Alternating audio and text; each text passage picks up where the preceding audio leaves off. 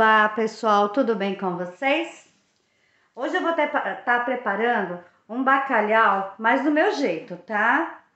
Eu tenho aqui pimentões amarelo e verde, tenho dois tomates grandes, tenho mais ou menos meio quilo de batata, um vidro de leite de coco, tenho aqui um quilo de bacalhau, eu já dessalguei ele, dei uma fervida as cebolas, as azeitonas e vou estar tá colocando coentro também, tá? Só que o meu coentro, como ele fica congelado, ele vai para o final da receita. Então eu vou começar a receita pré-cozinhando as minhas batatas. Bem, nossas batatas já estão pré-cozidas. Agora nós vamos montar o prato. Vamos começar colocando uma camada bem generosa de azeite.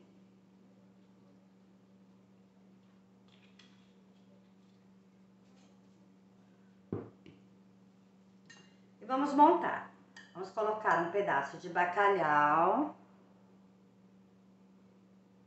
uma batata, um pedaço de tomate, cebola, e um pimentão. Bacalhau, a batata, tomate, cebola, né? E pimentão. E assim por diante, até a gente, a gente encher aqui a nossa assadeira.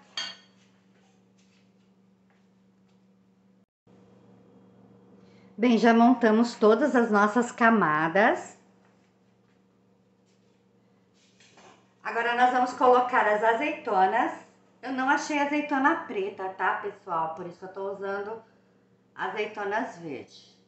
A gente vai colocar aqui todas as nossas azeitonas. Pra ficar bem colorido.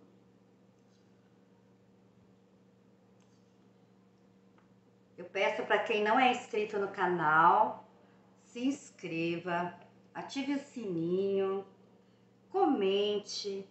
Eu gosto muito quando vocês comentam, tá? Agora vamos colocar mais azeite. Bem generoso, tá, pessoal?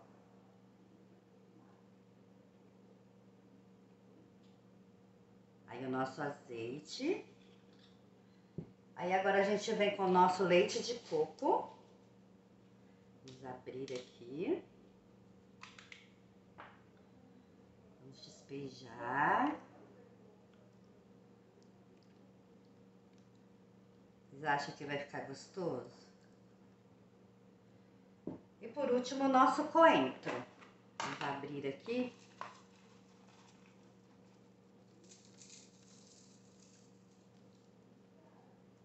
Cheiro verde, né?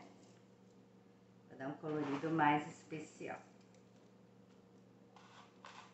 Como ele está congelado, ele fica meio difícil da gente tá distribuindo. Mas a gente distribui aqui. Agora nós vamos cobrir com papel alumínio e levar ao forno mais ou menos por uns 40 minutos. Vamos terminar aqui de cobrir. E quando ele estiver pronto, eu volto para mostrar para vocês como ficou, tá? Eu vou fazer um arroz e vou fazer também uma salada. Bem, o nosso bacalhau já está pronto. Eu vou servir para vocês.